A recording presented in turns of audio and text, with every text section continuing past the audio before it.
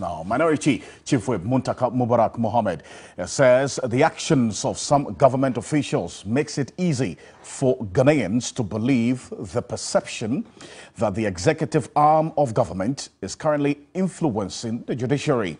In an interview with my colleague Evelyn Tengma, he says the tweet by Gabby Otchere-Darko that a by-election is looming in April in the Assin North constituency is worrying as it erodes the confidence of democracy.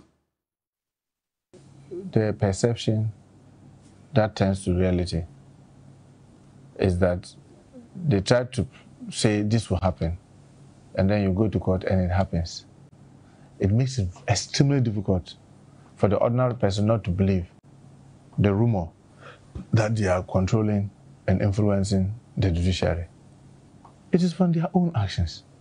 Because you know this matter is not exhaustive. The person is exhausting the legal process, and you know that it is not over, and you are already saying this, and you know that on 29 they are going to court, and then may God forbid if they go to 20, court on 29 and something drastic happen, how will you not link this to? And how will you link it? That they know what they have had, the discussion they've had with maybe the judges and the, the assurances that they've gotten from the judges. And that is why you have the outcome that you are having.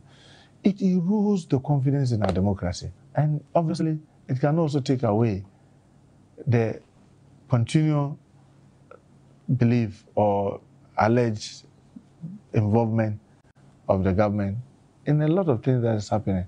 Well, if you are not a member of the government, yet you virtually turn yourself into a prime minister and you speak so definite and emphatic, it leaves everybody's mind clearer. Oh, you are in bed with the judiciary. He says he does not see a by-election looming as the NDC is exhausting all the legal processes in the case of the Assin North MP. It is not over. Even today, I know that the lawyers of Assin North have filed, so you continue to be a member of parliament whilst the process is being uh, challenged.